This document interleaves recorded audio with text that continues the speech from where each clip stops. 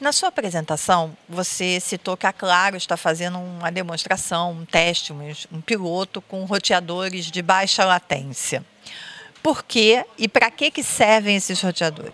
É, o que acontece assim, a, o atendimento das redes celulares hoje, né, que a gente chama de EPRAM, Radio Access Network, é feito normalmente com redes Metro Ethernet. Tem casos distintos, alguns usam até SDH, mas o, a gente, a Claro só usa redes Metro Ethernet.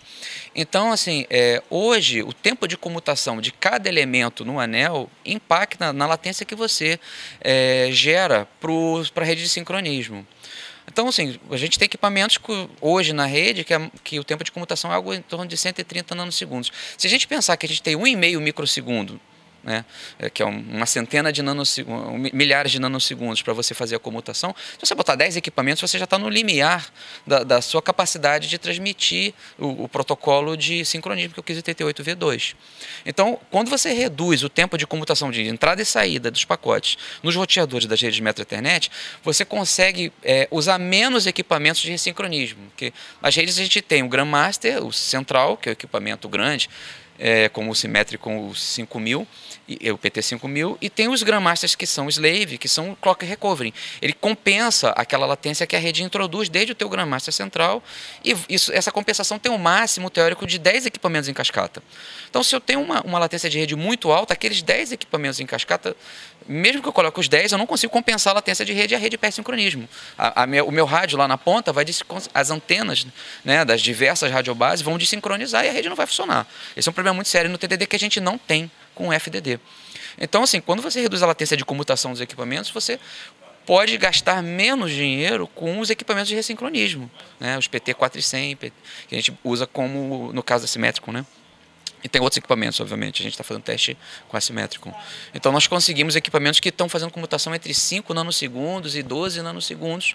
Equipamentos para botar na rede Metro Ethernet, é, quando hoje é sempre mais do que 150 nano. Tem, tem equipamento até de mais de 300, né?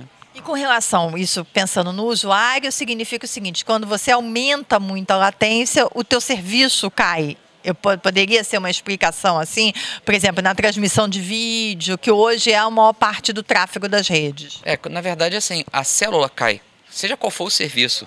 É, você pode estar tá vendo, navegando na internet sem nenhuma necessidade de baixa latência e a célula cai, ou você tem uma interferência tão grande entre as células adjacentes que, que não estiverem sincronizadas que você cai para um décimo da banda que você poderia entregar para o usuário. Então, isso é importante. Né? Se você só tiver uma célula, imagina que eu tenho uma cidade no interior, é, eu tenho só uma célula atendendo a cidade inteira, aquilo ali não precisa de sincronismo, porque não tem outras células adjacentes.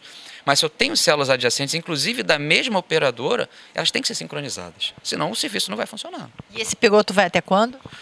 Bom, a gente começou tem uns três meses, né? E deve ir mais uns dois meses aí. E depois a gente vai aproveitar esse piloto para fazer um outro teste de interferência, que é a alteração dos parâmetros de TDD, né?